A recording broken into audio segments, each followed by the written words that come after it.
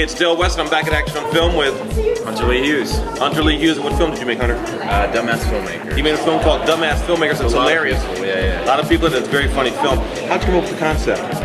Well, uh, my producing partner Elizabeth Gordon and I made a short film called Winner Takes All, and pretty much learned the hard way about so many things about filmmaking, and, and it caused us to kind of feel like dumbasses sometimes. And then that was kind of the impetus to say, you know what? Let's make the next thing about them dumbass filmmakers. I love it. So. Well, I want to thank you for being here.